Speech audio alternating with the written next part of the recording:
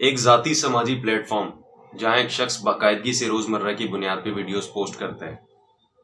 Video blog या video log, जिसे मुख्तसर करके ब्लॉग कहा जाता है। ये एक आसान और सादा सी तारीफ़ मैंने आपके सामने पेश की है ब्लॉग की। कबूल फरमाया मुझे इनाम ग्राम से नवाजें। ब्लॉगिंग करनी है, लेकिन अच्छा कैमरा नहीं है अच्छा माइक नहीं है proper studio light audio setup कुछ भी नहीं है, जो कि मेरे पास भी नहीं है। लेकिन अगर कुछ है तो वो है पैशन जोश, जुनून, जज्बा, वलवला।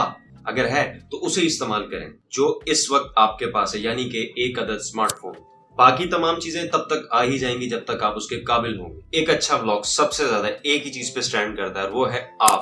आपकी नुमाया करने की सलाहियत, खुद को, आम सी आसपास की चीज़ों को, चलते फिरते जो काम आप करते हैं, वो चीज़ें जो आप इस्तेमाल करते हैं, लेकिन तरतीब से, तरीके से। आइए समझते हैं, क्या? तरतीब, तरीका। तरतीब, सबसे पहले मंसूबा बंदी करें। नहीं, वो वाली नहीं। मंसूबा बनाएँ, तय करें, मुंतखब करें कि आप किस किस्म के ब्लॉगर बनना चाहते हैं।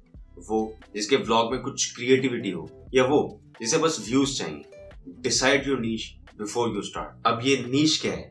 नीच एक ऐसी खास सरगर्मी है जो आपको जो आपको जुदा या अलग करती है बाकी सबसे। एक ऐसी खास सरगर्मी जिसको बेहतर नुमाया करके आप कामयाबी की तकमील तक पहुँच सकते हैं। दो नंबर सॉरी नंबर दो, अपना सामान इकट्ठा करें। ये क्या करें? छोड़ो से सामान मतलब स्मार्टफ़ोन ट्राईपोर्ड वगैरह वगैरह। नंबर तीन बी योर सवाल, कैसे? पोर्ट्रे योर वही सवाल, कैसे? देख भाई, आज नहीं तो कल। पहली बार में ना सही, लेकिन मुसलसल कोशिश के बावजूद।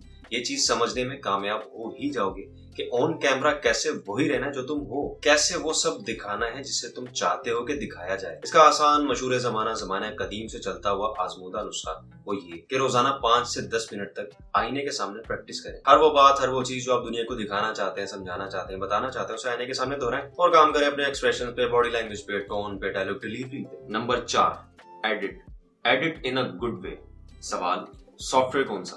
जवाब, जो अवेलेबल है। मैक यूज़र हो तो आई मूवी या Final Cut Pro Windows user हो तो एडोबी प्रीमियर प्रो या डेवेंची रिजॉल्व वगैरह। And I know this is as usual क्योंकि कुछ लोगों के पास शौक तो होता है, लेकिन शौक पूरा करने के लिए कुछ नहीं होता। But is a last option smartphone है ना? ऑप्शन से भरपूर। KineMaster CapCut Adobe Premiere Rush VN वगैरह वगैरह। कोई भी एप्लीकेशन जिससे आपको आसानी हो, जिससे आपकी फ़ोन की ना फटे यूज़ एनी जिससे आपको आसानी हो। जो आपके फ़ोन को सूट करे। सॉफ्टवेयर अलग हो सकते हैं। कॉन्सेप्ट सेम होता है और वो यहाँ होता है। याद है वो दिन? वो पहला दिन। जब आपने कार या बाइक चलाना सीखी और आपने मजबूती से पकड़ा हुआ था। स्टेयरिंग डिपेंड करता है आपने किससे सीखी आपका सारा ध्यान रोड, कार, हाथों और पैरों पे था।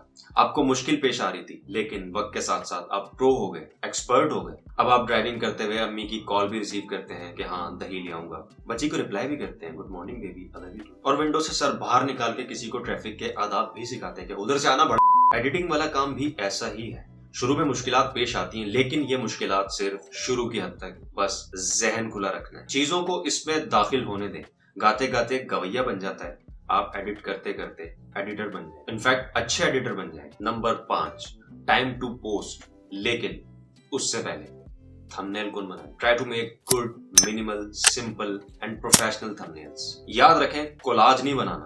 थंबनेल बनाना है, जो कि वजह बनेगा ऑडियंस की अटेंशन का, जो कि डिफाइन करेगा आपके थॉट प्रोसेस को। थंबनेल मीनिंगफुल होगा, वो आपकी सोच की तर्जुमानी उसी अंदाज में करे। और अगर आपका थंबनेल ही होगा तो ज़ाहिर आपके दिमाग में भी वही भरा होगा। नंबर छ वीडियो टाइटल उसूलन ये सबसे पहले होना चाहिए था, लेकिन बता मैं रहा हूँ तो मेरी मर्ज़ी। आखिर में रखूँगा इसे। देखो, सुनो, गौर से समझो इस चीज़ को। तुम्हारी वीडियो का टाइटल बहुत अहम होता है। अम्मी ने डांट दिया सास को डरा दिया अब्बू को सरप्राइज़ दे दिया। ये सब टाइटल्स हैं। नो क्रिएटिविटी क्रिएटिविटी अपने टाइटल को वो क्लास बख्शो जिसमें तुम खुद को कंसीडर करते हो। इसलिए पहले नंबर से यहाँ तक आते आते अपने इस वीडियो के होल एक्सपीरियंस को जी लो। और समझो इस वीडियो को किस तरह का टाइटल सही डिफाइन करेगा सही रिप्रेजेंट करेगा। और वही होगा इस वीडियो का सही मीनिंगफुल टाइटल नंबर खत्म। कर दो पोस्ट।